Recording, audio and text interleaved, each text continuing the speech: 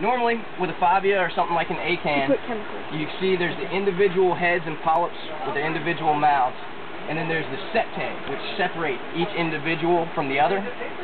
Normally with a bandsaw, that's the beauty of it, is you can actually cut along the septae and you don't have to sever any of the mouths. Now, a specimen this big and this healthy will be fine. You can cut right across the mouth, no problem. That's actually how you frag a Scolymia, is you cut them directly across the mouth. As long as you leave part of the mouth so it can continue to feed, it'll keep growing. I'm gonna have to really have to crank the blade up. I don't know if I can cut the ring up pretty much.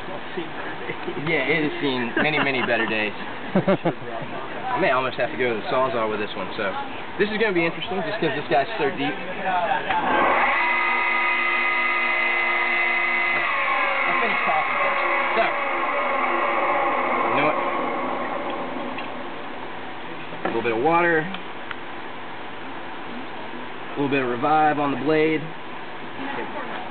Hey, and just so it'll it'll make a lot of noise. Um, don't stand directly in front of it. Yeah, I'm getting covered. Yeah, I know, I know I'm about to get covered, so you may want to move that way. You want a uh, About, yeah, five more degrees. There you go. yeah. So I'm about to get covered in coral slime and rock splatter, so I'm used to it. Doesn't bother me at all.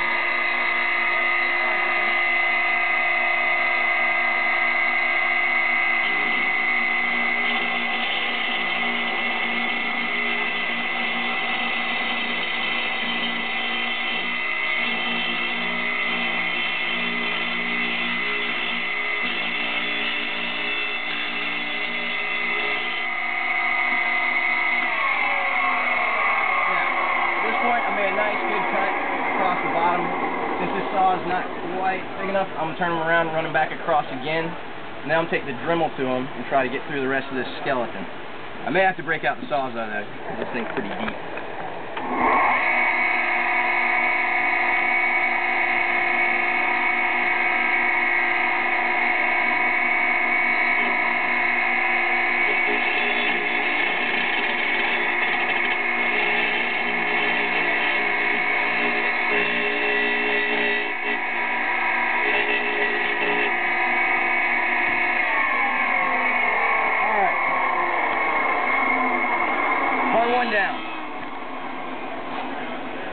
Even know if this Dremel blade is going to be deep enough because is a pretty big guy. I'm going to have to do something slightly unorthodox, but you know, that's what I regularly do.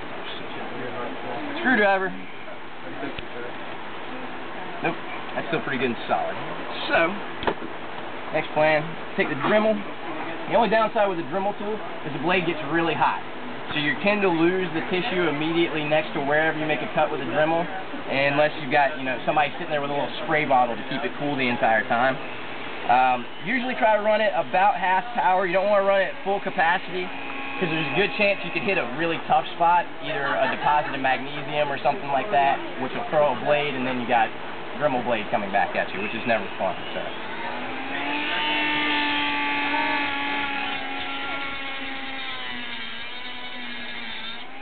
Don't mind the smell. It's going to smell like burning hair because you're cooking live tissue. So. It smells like being at the dentist. Sounds like being at the dentist.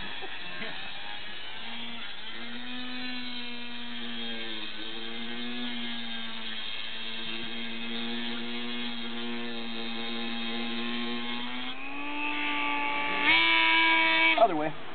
You can see I'm going to go ahead and make a cut across first, and then I'm going to work down to my line where I cut, and then I'm trying to cut another one like this to leave two small frags and then half of the colony whole.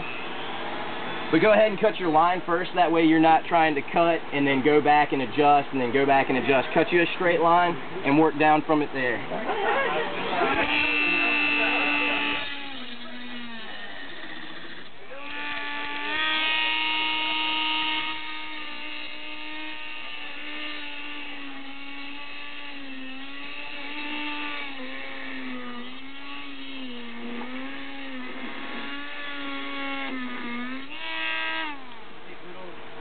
That's gotten it most of the way through.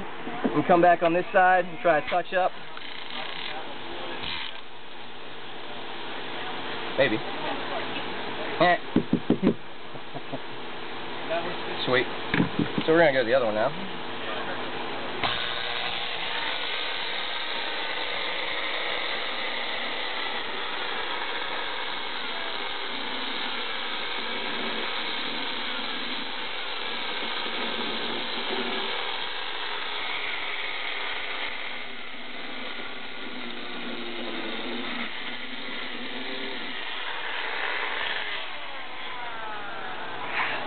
Now, sometimes, like with this guy, you're just not going to be able to cut all the way through.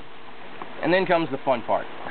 So for me, I like to frag most stuff with a hammer and chisel because it's really the quickest, easiest way to go through a bunch of soft stuff, especially like zoanthids or mushrooms.